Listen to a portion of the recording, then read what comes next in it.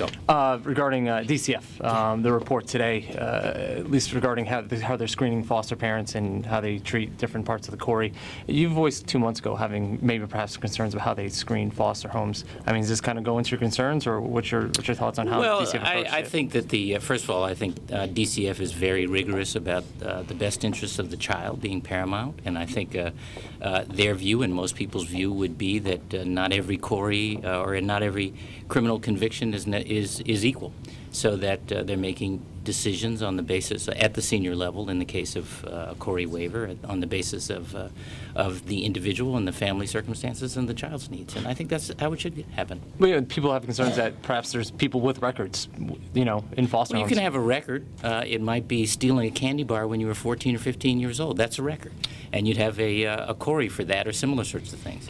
That isn't as serious uh, in the case of someone who's had no other uh, incident until they became an adult, as many other crimes would be. That's why I say uh, they are right to take into account the specific uh, circumstances of that individual and the family circumstances uh, as well and the needs of the child. The fact that it keeps some of the really serious crimes, though, as discretionary, I mean, there's some ones on there that are are pretty jarring that, th- Well, you know, I aren't think aren't you know totally most people out. who deal with uh, with people and circumstances know that not every circumstance is the same.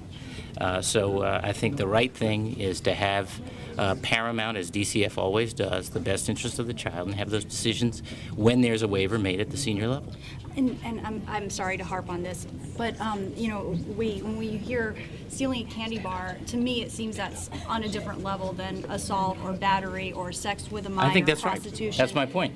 Eh, But yet, some of these people convicted of these serious offenses are still able to be foster parents. And in some, well, I don't know all those, uh, uh, all the circumstances. I'm not sure that uh, those circumstances have been made, uh, have been made public. But if somebody has had 20 years of, uh, of, uh, of leading an exemplary life, the fact that they have in the past had a conviction should be a factor, but not an automatic disqualifier. And that's the only point. So you That- okay with these that's a- guidelines? You don't that's want to the- try to That's change the them? only point, which is that, uh, which is that uh, judgments have to be made, and they are made at the senior-most level with the best interests of the child paramount. Anybody else? You guys good? Just Storm, Storm perhaps, stuff. anything else you want to say?